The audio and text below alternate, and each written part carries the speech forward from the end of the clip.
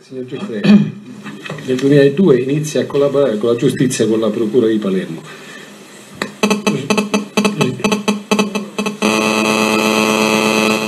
Ricorda se prima di iniziare nel periodo immediatamente eh, precedente alla sua collaborazione, cioè tra, fra il suo arresto e l'inizio della sua collaborazione, lei ha mai eh, subito pressioni da parte di personale dell'amministrazione penitenziaria, pressioni, minacce per non collaborare? Non riesco, che ho qualche problema di udito. A, a Le chiedo... No, no, in linea di massima diciamo che ho capito. E le pressioni. Io quando sono stato arrestato sono, stato sono andato a Termini Merese, poi successivamente eh, sono andato a Novara con il 41 bis di,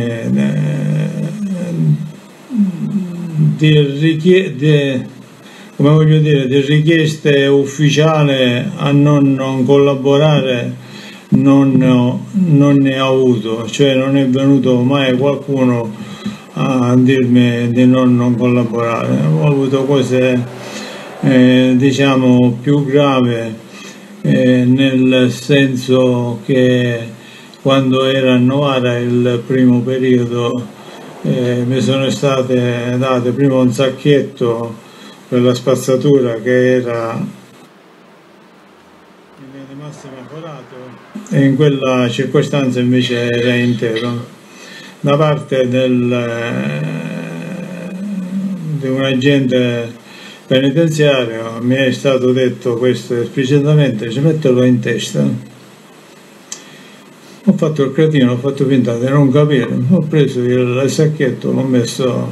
Scusi Giuffre, ma Prego. generalmente al, vengono consegnati sacchetti forati ai detenuti? In quel... Sì, perché nella massima erano sempre tutti forati, in quell'occasione invece era intero.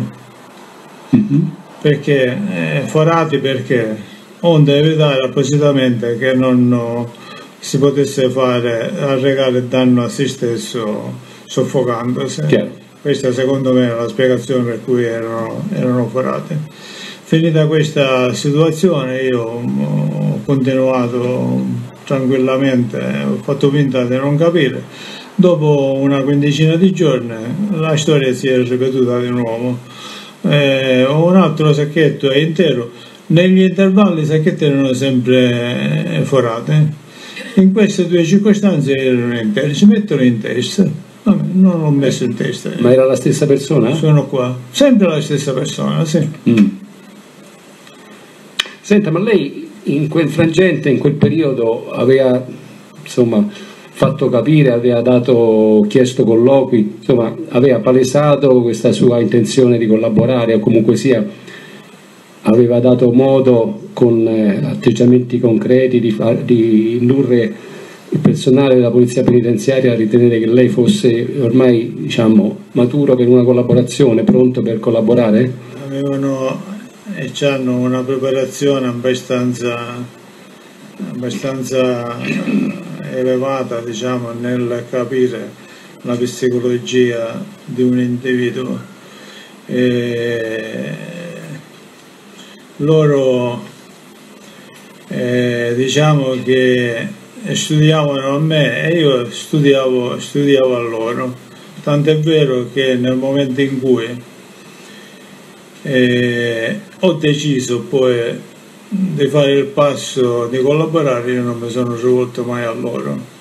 Allora, loro sarebbero chi? E gli agenti della penitenziaria. Quindi il GOM? Il famoso, il famoso GOM, sì. Mi sono rivolto direttamente alla direttrice del carcere con lei ho instaurato il rapporto, il mio rapporto di collaborazione che poi è andato a finire a Palermo al, al procuratore Grasso. Senta, quando lei ha iniziato a collaborare questa, questa circostanza la riferì subito? Ma mi sembra di sì, non ricordo se sia stato subito se subito dopo, ma penso all'inizio della mia collaborazione. Giustamente non era, non era una, una situazione, situazione, bella. Poi sono stato trasferito da Novara, sono andato uh, a Opera. E, diciamo che non era, eh, mentre che ero là c'era poi eh, una lotta psicologica diciamo a notte per non fare dormire lo stesso poi era successo in seguito anche a, a, a opera diciamo un certo attacco psicologico non fare dormire a tenere impressione lei ha avuto mai contrasti diretti diciamo una certa rilevanza con il personale dell'amministrazione penitenziaria successivamente a quei fatti, ai fatti sacchetto, dei, dei, due sacchetti che gli furono consegnati? No, io nel momento in cui ho, successivamente ho iniziato a collaborare eh, riferivo tutto alle, all'autorità giudiziaria, in modo particolare a Grasso. Eh, Precepino, Lari e altre che, di cui io ero in contatto uh, sempre. Ma lei ha fatto mai colloqui investigativi prima, della, prima o durante la sua collaborazione? No. Ho iniziato con la magistratura e ho continuato sempre con la magistratura. Qualche colloquio che ho fatto con l'autorità investigativa alla presenza, è avvenuta la presenza dei magistrati. Va bene, senta, le chiedo, ovviamente non di rifare la storia della, che a lei ha già eh, riferito nel, nel, corso dei processi, del, soprattutto del Capaci, del Capaci bis del Borsellino Ter perché c'è una sentenza che eh, ripercorre perfettamente i, passaggi, i vari passaggi della sua collaborazione, quindi le faccio domande che riguardano innanzitutto i suoi rapporti con, con Provenzano. Se ci vuole insomma ricordare come, nascono, come nasce il suo rapporto con Bernardo Provenzano. I rapporti con il Provenzano iniziano all'inizio degli anni 80, 81, 82 e così via di seguito poi successivamente. Ed iniziano quando come ho detto era mm, il capomandamento il capofamiglia Intile Francesco come ho detto io accompagnavo il Lentile nelle riunioni e in queste, in queste riunioni, eh, in questi incontri con, avvenivano principalmente lo stesso Entile con il, con il Provenzano avvenivano a Bagheria. E così io ho conosciuto prima, Intile, prima il, eh, il Provenzano e in qualche circostanza anche Lentile e il Rina, eh, Rina Salvatore. Senta, ma lei quando entra, lei ha detto poi diventa capomandamento di Caccamo nell'87, ho capito bene? Io eh, entrerò in contatto direttamente e ufficialmente con Salvatore Rina e con gli altri membri della commissione, se, della commissione se non ricordo male, attorno all'87. Ecco. Lei era legato ad entrambi i due diciamo, attori principali, i due corleonesi, cioè Rina e Provenzano? Aveva uguali rapporti, aveva uguali contatti con i due? Io sono il mio maestro, diciamo, tra virgolette, è stato il Provenzano. Mm. dall'84 circa dopo l'arresto del Guzzino io mh, mm, ho portato avanti diciamo in forma ufficiosa il mandamento di Caccamo e i miei incontri avvenivano ufficialmente con il, con il Provenzano. Fino a come ho detto all'87 quando lo stesso Provenzano mi ha, dato, mi ha detto che ora eh, andavo ad incontrare il Salvatore Rina che era il posto che eh, mi aspettava però nonostante tutto diciamo che io ho continuato da sempre ad avere incontri con il Provenzano anche dopo l'arresto di Rina diciamo che il punto di riferimento mio restava sempre il, il, il, Provenzano. il, Provenzano. Senta, ma invece per capire quali fossero i rapporti fra Rina e Provenzano,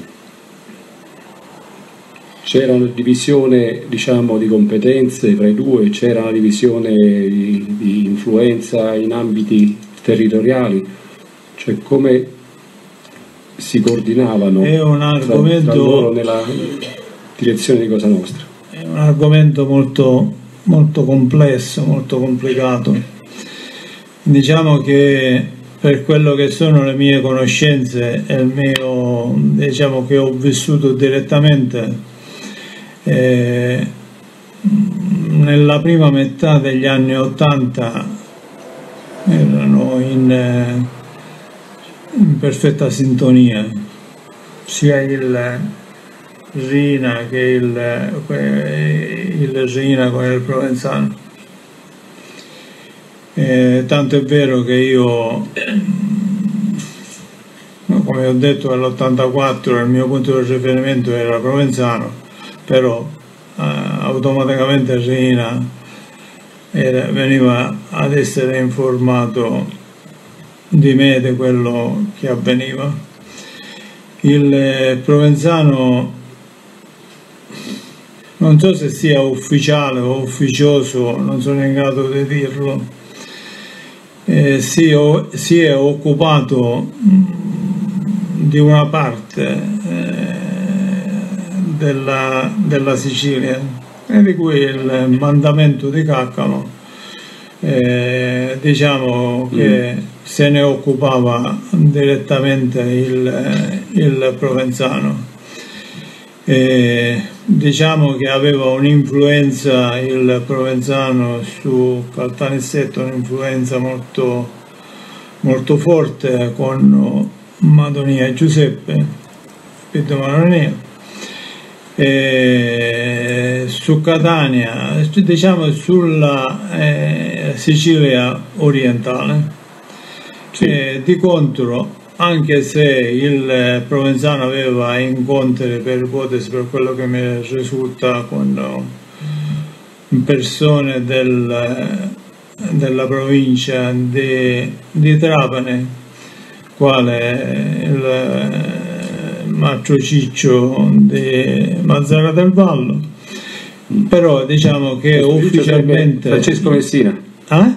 Messina Francesco sì, confermo Ciccio altro Ciccio detto. Eh, il, eh, diciamo che se ne occupava a tempo pieno de, del, di Agrigento, di Trapane, il eh, Salvatore, Salvatore Regina in persona. Senta, ma sono... Non ho finito, signor Prego. Procuratore. E, questo discorso diciamo che è andato avanti per eh, un, un certo periodo eh, de, di accordo. Ora, per finire il discorso, eh, questa situazione mm, di collaborazione eh, aperta, leale, eh, diciamo, fra i due e nel, dalla seconda metà degli anni Ottanta cominciò a, ad affievolirsi. Ho vissuto che mh, mm, la situazione, diciamo che una incomprensione è avvenuta in modo particolare nell'87 quando c'è stato il eh, cambio di rotta politico all'interno di Cosa Nostra. Mi spiego, nell'appoggiare eh, dei nuovi riferenti politici. E mi intendo riferire, si metteva da parte la democrazia cristiana che da sempre è stata appoggiata da Cosa Nostra e si eh, appoggia e c'è stato un discorso pubblico in seno alla Commissione in questo in che anno scusi? In che anno questo? Siamo nell'elezione dell'87 se la memoria non mi inganna eh, politiche e sarà appoggiato regionali forse Prego? Le regionali? No, no, politiche, le nazionali. E appoggeremo il partito socialista, Martello in primis, e in parte il partito radicale. I due, Salvatore Rina appoggerà questa politica, l'ha ufficializzato insieme alla Commissione e automaticamente anche alla commissione regionale. E in Camera Caritatis io e Provenzano, il Provenzano non, non, non condivideva questa scelta, dicendomi apertamente a me, a Carlo Greco, a Pietro Agliere che Totuccio sbagliava, non doveva fare questo, questo passo. Ma intanto comandava Salvatore Rina e noi abbiamo eseguito la la scelta eh, di appoggiare i, i socialisti. E diciamo che da quel momento in poi i rapporti strada facendo si sono sempre più deteriorati. Prego, signor Sì, eh, le volevo chiedere questo. Lei dice che questa eh, diciamo, idea, questa non condivisione da parte di Provenzano di questa idea di Rina viene partecipata a lei e ad altri, e, a, e agli Eri e Greco. Chi erano le altre persone, gli altri capi mandamento palermitani cui Provenzano, di cui aveva fiducia, se ce n'erano degli altri?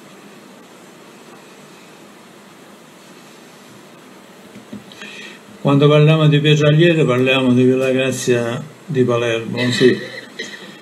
E come mandamento, altri mandamento che fossero, c'era uh,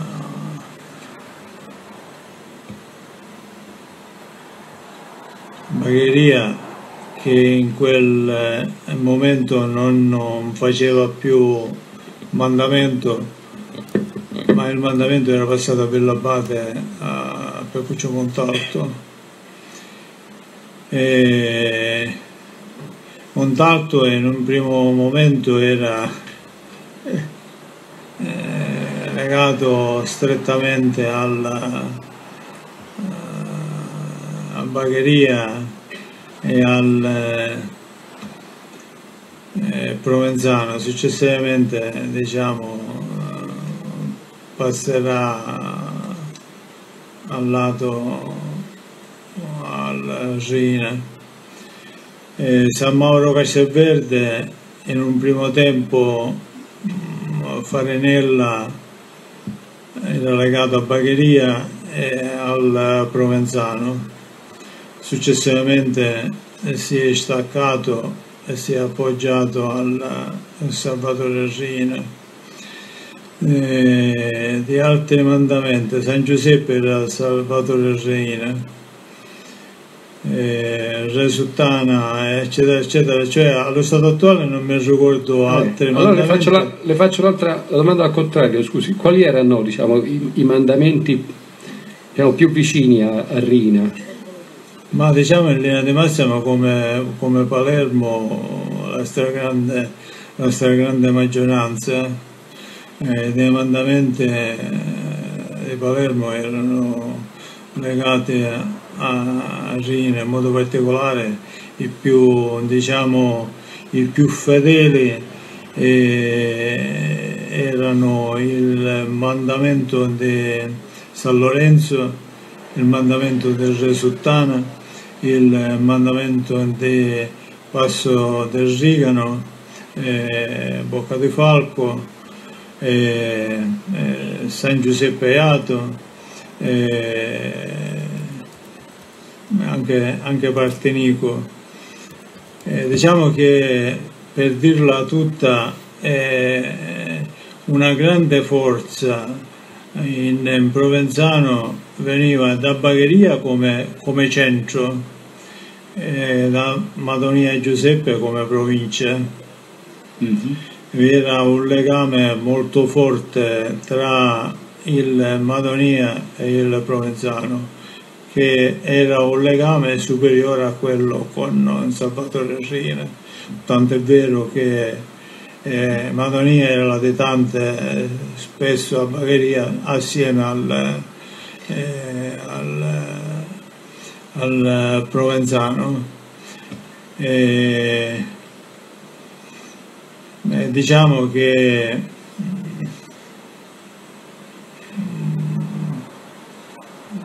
c'era un legame abbastanza forte e automaticamente eh, vi era un, una, un, influsso notevole di Madonia Giuseppe nella, nella, Sicilia orientale, in modo particolare a Enna, dove il Madonia Giuseppe Bagheria faceva sempre appuntamenti e incontri, e a, e a Catania diciamo che queste due province erano molto, molto legate, avevano un legame molto forte con il Madonia Giuseppe e, e anche con il Provenzano. Ora, se sia per riflesso del Madonia o sia per riflesso del Provenzano, non sono in grado di dare una risposta, una risposta precisa. E, e su Agrigento, per ipotesi, eh, il Provenzano aveva una, una era molto, molto quotato, molto, molto rispettato, in modo particolare a Canicattì nei Ferro, un legame molto, molto forte. Prego, signor Procuratore. Volevo parlare delle stragi del 92 senza ripercorrere quello che lei ha già eh, dichiarato in, una, un processo che definire una sentenza che abbiamo prodotto. Però le voglio chiedere brevemente se è in grado di riferire al Tribunale. Per favore, un pochino più forte, sì. eh, signor Procuratore. Se può riferire al Tribunale come si arriva a queste stragi, cioè qual è il, che cosa fa scattare diciamo, la reazione di Cosa Nostra.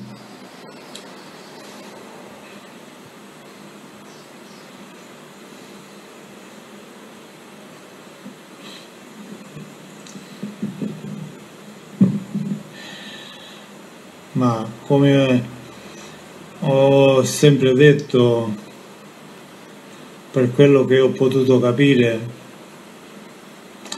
cioè la goccia che ha fatto traboccare, come si suole dire, il vaso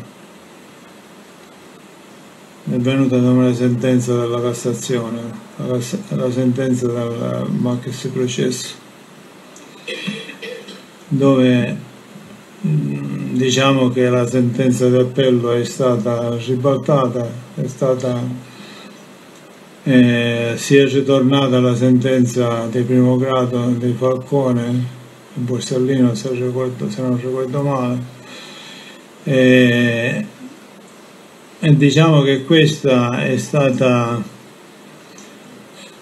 eh, come ho detto cioè eh, la resa dei conti perché il tutto era come una pentola a pressione che già era uh, messa sul fuoco antecedentemente, eh, sia per una questione politica, perché se, come è vero che io ho detto che nell'87 c'è un cambiamento di, di indirizzo politico dentro Cosa Nostra, sta a significare una cosa sola, che eh, quelle persone che Salvatore Rina e compagni da, da, diverso tempo, ai tempi di Michele Greco, senatore, eccetera, eccetera, senatore inteso come il fratello del Salvatore di Michele Greco, mafioso di Ciaculla,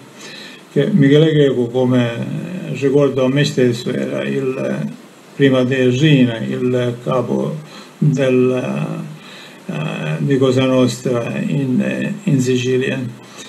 Eh, diciamo che quello già è stato eh, l'evidenza che molte persone erano considerate inaffidabili, a partire da Andreotti a scendere a scendere, fino ad arrivare a Lima. Tanto è vero che il primo omicidio politico che è avvenuto è stato quello, anche se ce ne sono state altre meno, meno eclatanti a livello dei sindaci, eccetera, eccetera, eh, su Palermo. Diciamo che tutta questa situazione è, è, venuta, è venuta fuori per la sentenza e c'è anche una motivazione. E in seno alla Commissione,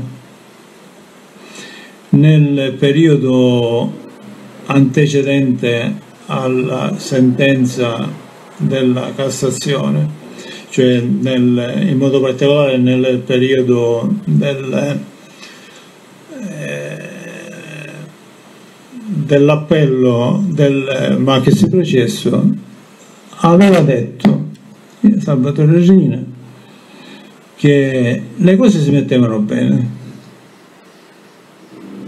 per quanto ci riguarda precisamente il processo vi erano un sacco di persone imputate e persone molto vicine allo stesso, allo stesso Rino. E ci facciamo un processetto per associazione mafiosa 6-7 anni e tutto ritorna come prima. Cioè, sottolineo,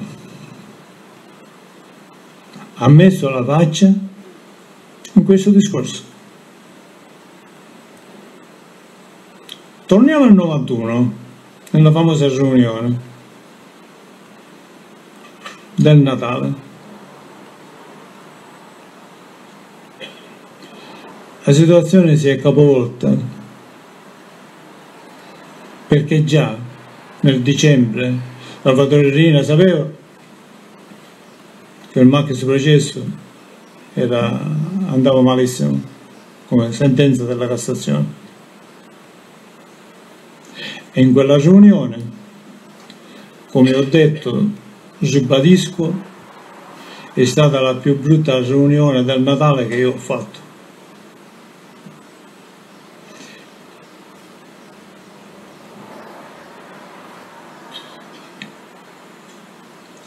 diciamo, la riunione della resa dei conti.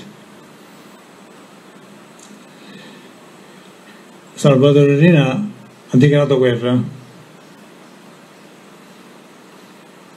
a tutti i suoi nemici, in modo particolare Falcone Borsellino che già antecedente a questo discorso se ne parlava già da prima e con i politici che non avevano mantenuto il loro impegno. Politici di Lima, Andò, eh, Mannino, Vezzine, tanto un elenco che non è mai finito. Quindi ormai Salvatore Rina era alla corte e quindi eh, ha perso la faccia e ha dichiarato questo.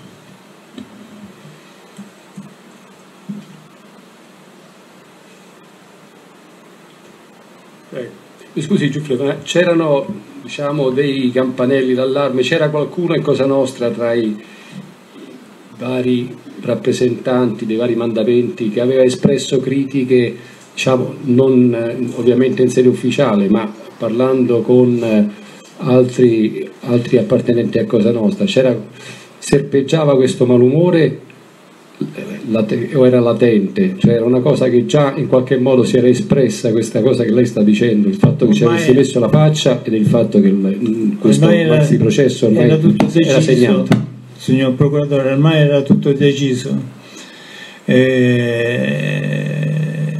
e non poteva tornare, fra l'altro non poteva nemmeno tornare indietro, doveva andare avanti ormai, come è andato sempre avanti facendo guerre a partire dal suo paese a scendere a scendere doveva continuare. Sì, però io le ho domandato se c'era qualche, qualcuno, se qualcuno aveva cominciato ad avanzare critiche nei confronti di questa eh, leadership, cioè sì. se questa era messa in discussione. Signor Procuratore, eh, in quella sera, eh, in quell'ambiente, eh, anche se qualcuno aveva qualche critica da fare, eh, non era, non era no, l'ambiente adatto per fare critiche.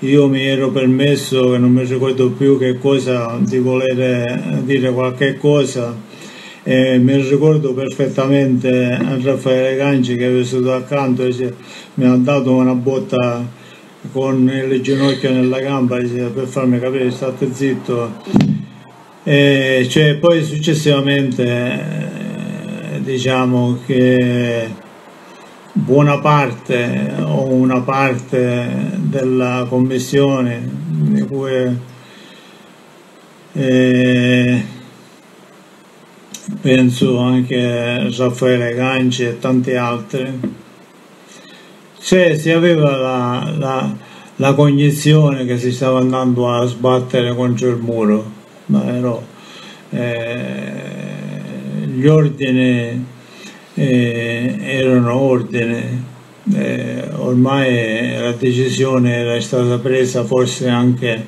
a livello non solo di commissione provinciale ma probabilmente anche a livello di commissione regionale, probabilmente anche, anche oltre quindi nessuno poteva tornare, tornare indietro e, e, ripeto, Rina non poteva più tornare indietro. Senta, ma quando Rina prende questa decisione, che trova diciamo, il consenso, come dice lei, silente di tutta la, la Commissione provinciale di Palermo.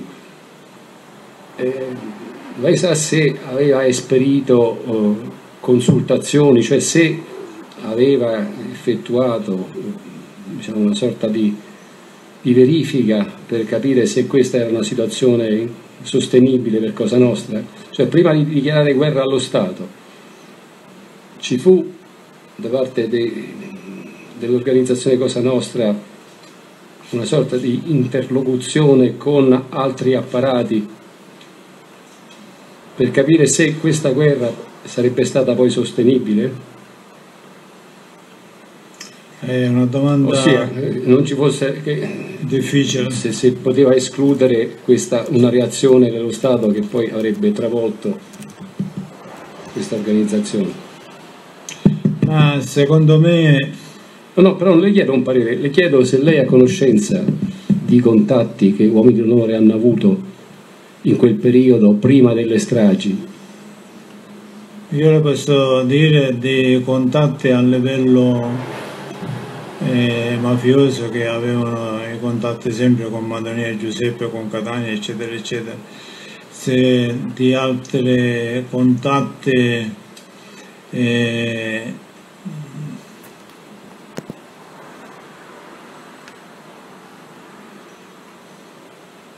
non, non, non, non ricordo eh, altri tipi di contatti tra il Rina e, altre, altri soggetti, signor Procuratore. Le chiedo, Rina, Cosa Nostra aveva contatti con eh, istituzioni con la massoneria, con appartenenti a istituzioni esterne a Cosa Nostra? Eh, Cosa Nostra aveva dei contatti esterne, questo era un discorso pubblico all'interno mm, nostro e della commissione con delle logge massoniche. Tant'è vero che all'inizio che io cominciai a frequentare la commissione, in una riunione il RINA ha fatto un appunto sulle logge massoniche mm, dicendo che non vietava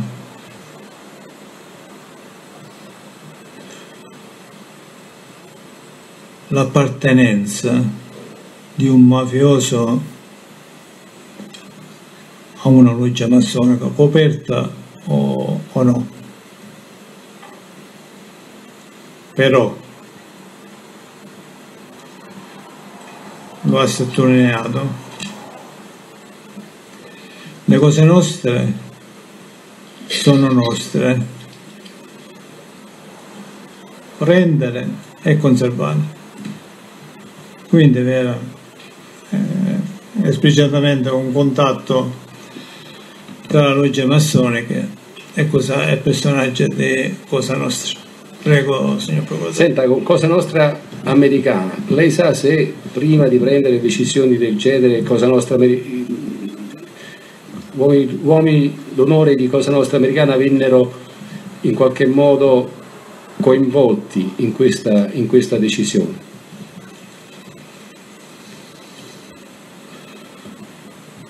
Per quello che mi riguarda eh, direi proprio di sì. E...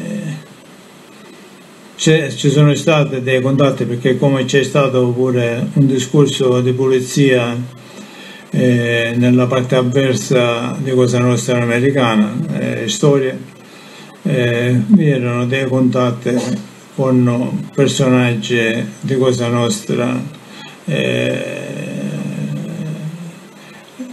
in modo particolare siciliane che erano andate in, eh, che erano in America. Eh, e contatti Salvatore Rina non solo, ma anche altre persone le avevano o li avevamo eh, diciamo questi contatti. Prego. Ci sono stati mai eh, lamentele da parte di, degli americani, dei, da parte, da parte dei mafiosi americani ci sono stati mai lamentele nei confronti di Giovanni Falcone, del fenomeno del pentilismo che rischiava di coinvolgere anche le famiglie americane?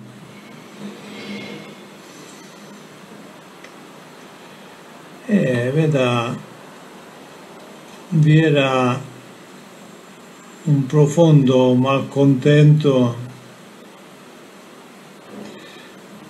eh, da parte della mafia americana nei confronti in modo particolare de, del dottore Falcone. E se vado bene con la mia memoria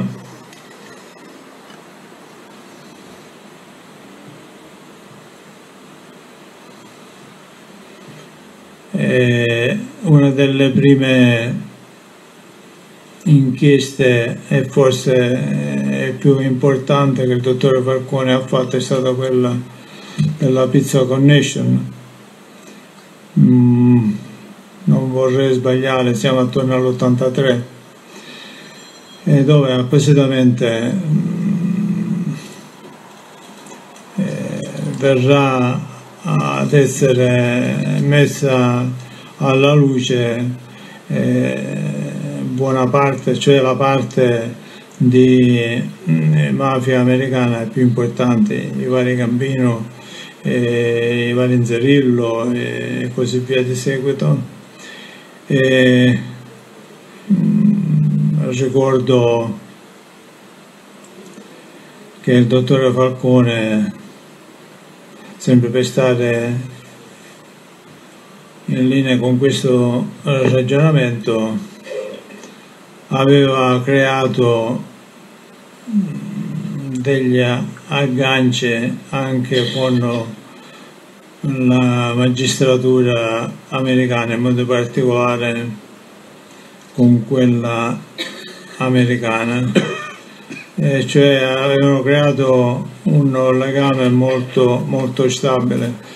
Non mi ricordo chi era il procuratore di allora, che poi si è andato alla politica, eh, di New York con cui il, eh, Falcone, il dottore Falcone era in, se mi viene ve lo dico, in, in, in perfetta sintonia e collaboravano. collaboravano Giuliani penso. Perfetto. Perfetto. Prego. Senta, io le voglio eh, chiedere, lei dice che a parte il colpo sotto al tavolo di Ganci, insomma, eh, quella riunione finì in silenzio. Tanto per curiosità nostra, per sapere se non ci fosse stato quel colpo al ginocchio che forse mi salva la vita, che cosa avrebbe detto lei intervenendo? Ma io non, non cioè no, automaticamente non è che posso dire oggi a distanza di tempo farmi che ci dicevo che ero contro, contro Salvatore Rina, questo è poco ma sicuro. Certo, questo eh, potevo dire, non mi ricordo più che cosa potevo dire, che ero disponibile, che ero qualche cosa, qualche cosa del genere, eh, o tutto più se aveva quelle, eh, quelle garanzie eh, sufficienti per... Eh, eh, insomma se sapeva quello, quello che faceva, dove andavamo incontro, dove ci portava. Prego.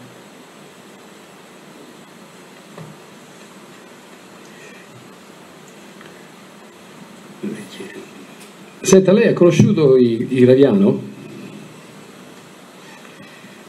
Ho conosciuto Filippo e Giuseppe Graviano, in modo particolare Giuseppe Graviano che faceva parte della commissione di Cosa Nostra provinciale, mm. capomandamento de...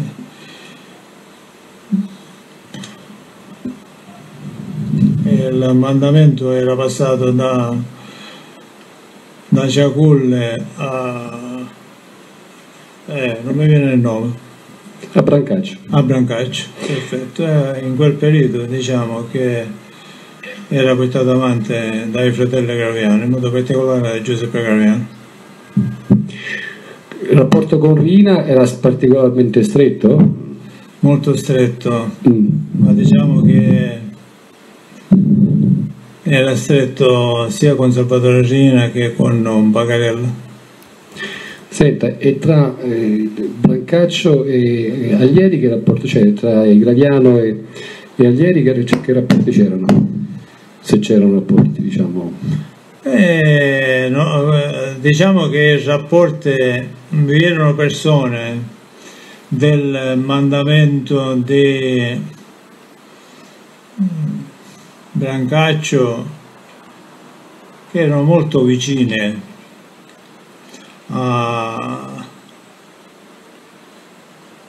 lei intende a Pietro, a Pietro Agliere fa, fa riferimento a qualcuno in particolare? Renzino Tenerello in modo particolare ecco ma direttamente quali fossero i rapporti fra i, i fratelli Graviano e Pietro Aglieri in grado di, di conosceva? Eh, ma veda, non è, non è non, no,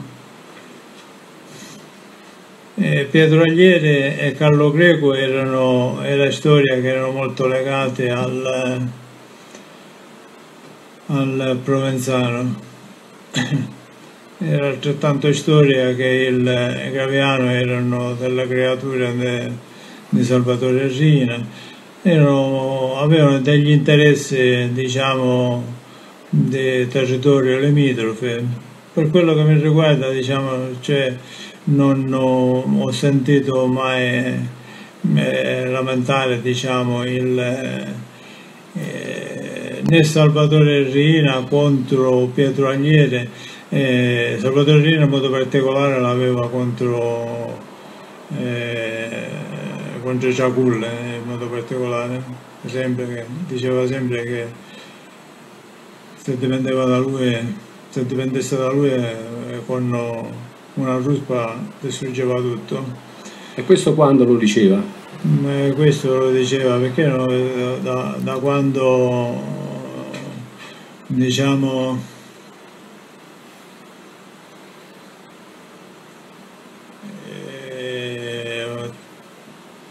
85 io nel periodo uh, dei rapporti quando in Ciaculle sono mutate eh, con la presenza di Greco, Greco Giuseppe detto Scappuzzetta che cioè è stato uno dei personaggi eh, che ha contribuito notevolmente diciamo, all'ascesa del potere del, del Rina e, e, che poi non se ne è saputo più niente che ha, ha detto che Scapizzetta era partito per l'America era scomparso, ce l'hanno ucciso. Poi c'è stato un susseguirsi eh, di altre fatte eh, l'ultimo è stato eh, un susseguirsi diciamo di reggenza de, del mandamento di eh, Ciaculle fino a Lucchese, Lucchesetto Dopo l'arresto del Luccheseggio il mandamento è passato a Brancaccio, anche se Brancaccio diciamo che aveva un potere eh, enorme nel mandamento diciamo, anche precedente a Ciaul. E quindi cioè, avevano, convivevano perché tra l'altro cioè, sia il pietraliere eh, che il Carlo Greco non erano persone che cercavano lo scontro, cercavano di accomodarsi e poi diciamo che c'erano eh, Tenerello, in modo particolare il Renzino, diciamo che avevano degli ottimi rapporti, Carlo Greco con Renzino Tenerello sono state tanto assieme per un periodo di tempo nella zona di Termine e così via di seguito. Prego, signor Procuratore. Senta, eh, lei ha sentito parlare di Scarantino? Io di Scarantino ne ho sentito parlare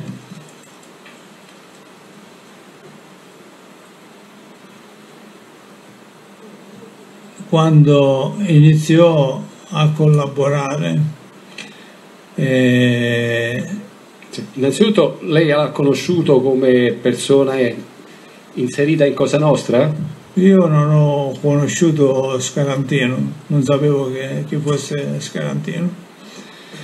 Eh, ho avuto occasione di sapere di Scarantino che poi collaborava, eh, che fra l'altro non ho nemmeno dei ricordi molto, molto nitidi, molto chiari. Sì. Eh, Mi scusi, come veniva commentata? Facciamo finire, sì, se, a lei interessa quello, se a lei interessa quello che ha intenzione di dire, gli farà la domanda. Da, da Io, qui, da qui vengo, si vede meglio, si era fermato proprio. Siccome era fermo, se a lei interessa, a me non interessava, per cui quando Prego. toccherà a lei le farà le domande che riterrà opportune. Allora, Vabbè, intanto una, una cosa ce l'ha avuta. Allora, sì, torniamo a, a Scalantino. Eh, signor Giuffre, lei ne ha sentito parlare in Cosa Nostra? È stato oggetto di, di contatti, di colloqui all'interno di, delle riunioni, nel corso delle riunioni? La collaborazione di Scarantino è stata commentata, dico da voi?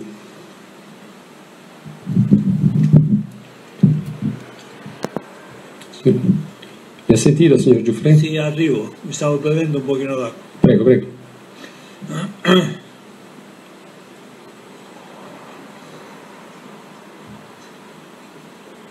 Scarantino era stato considerato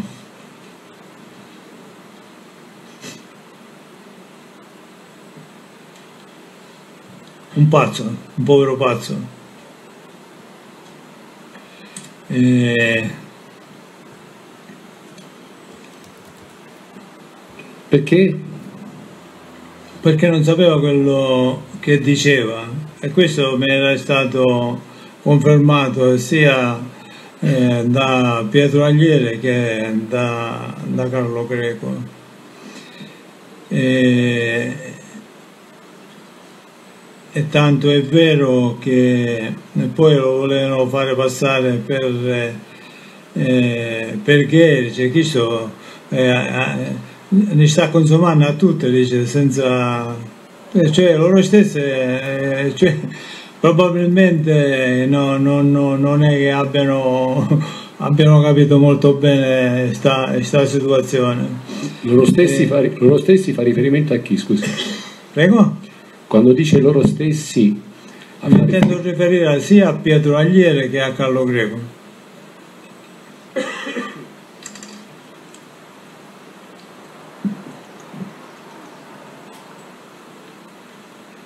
Quindi nei commenti che lei raccoglieva da parte di Greco e di, e di, e di Aglieri c'era riferimento alla, al fatto che queste dichiarazioni erano imprecise, false.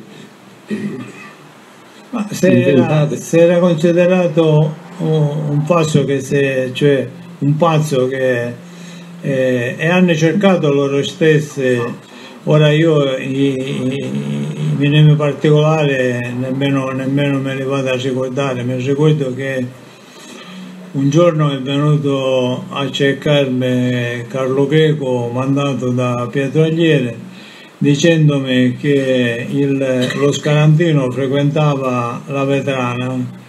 Eh, un albergo? Era, sì, eh, un lido diciamo dove in estate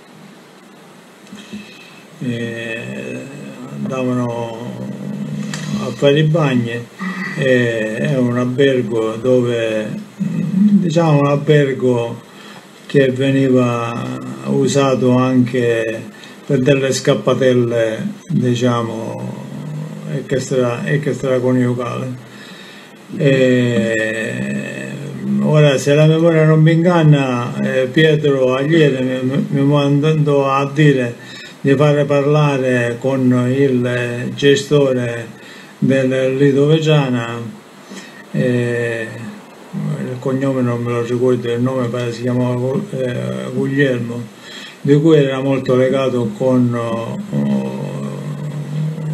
Mimmo Rangatore e Totuccio Cenella, in modo particolare con uh, Mimmo Rangatore che era il figlioccio eh, per fare sparire mi sembra il nome del, eh, del, dello Scarantino dai loro registi in modo che se ora vado bene avevano eh, cominciato a insinuare che fosse un gay che quindi non poteva essere un, un mafioso e quindi non sapeva che cosa dire.